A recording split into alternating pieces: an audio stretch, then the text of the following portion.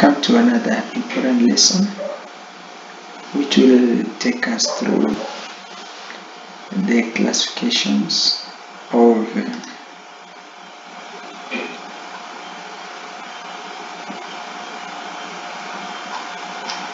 which will be actually our classifications or levels of accounting theory. So under our classifications of theories, we have accounting structure, interpretation, decision usefulness.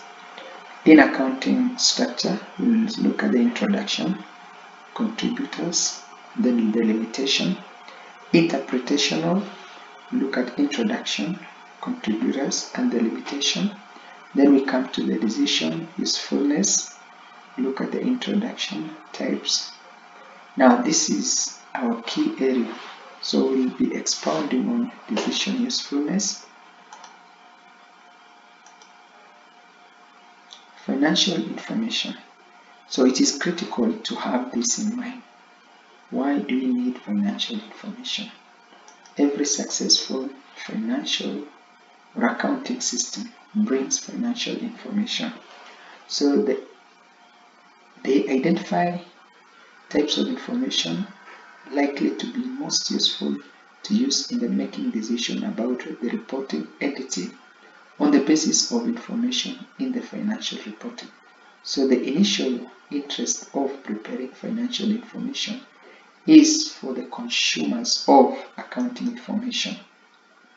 Fundamental quantitative, qualitative characteristics. Now it is good for us to understand what are these characteristics that qualifies the financial information. Number one, relevant financial information is capable of making difference in decision made by users if it is if it has precise value, confirmatory value, or both. So it has to be predictive. They can predict what will happen in the future and it can confirm exactly what will happen. Number two is faithful representation. Information must be complete, neutral, and free from material error. So it is very important to have this in mind. The accounting information or the financial information which is being presented must be complete, neutral, and free from material error. So these are the fundamental qualitative characteristics. Now we look at the enhanced qualitative characteristics. Number one, comparability. Comparison with similar information about other entities with similar information about the same. So it is very important to have this in mind. The financial information that you're getting must be useful in making comparison. You compare one entity to another or entity of the same class for another period or date. So it has to be for a given period of time. Verifiability. It helps to ensure users that information represented faithfully the economic phenomena it purports to. In that sense, we must have this in mind. Verifiability means the information pre presented must be used with knowledgeable and observations with the observation which brings clear consensus between the parties consuming the information must make the clear decisions. Timeliness. It means that the information is available to decision makers in time to be capable of influencing their decision. The right information at the right time. Then finally, understandability. Classifying, characterizing, and presenting information clearly and concisely. Understandability is very important. People must be able to understand the information provided in a very precise, clear, and simple manner. Now, it is very important again for us to look at the bodies that brings into perspective the financial framework of financial standards. So, regulatory framework, we have IFRS AC, this International Financial Reporting Standard Advisory Committee. What is their mandate?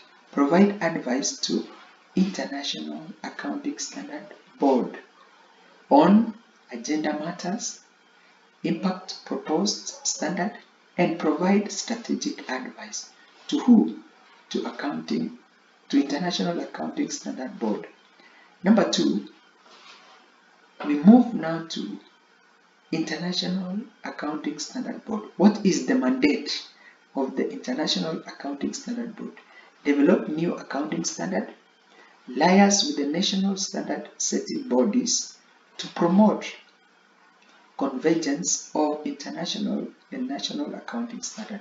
So it is their mandate to develop accounting standard.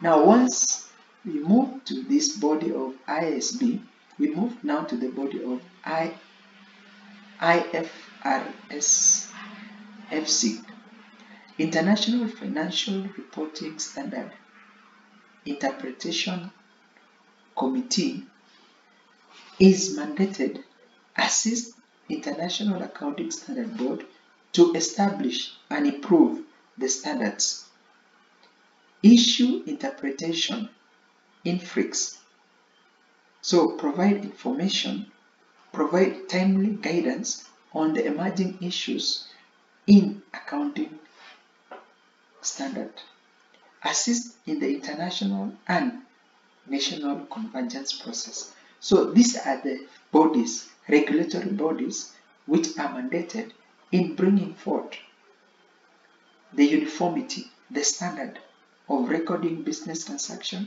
of bringing forth accounting information, at the same time for reporting purposes. So when you have this in mind, it gives you now the clear perspective of why we need financial accounting theory. Remember financial accounting theory helps accountants in their practice.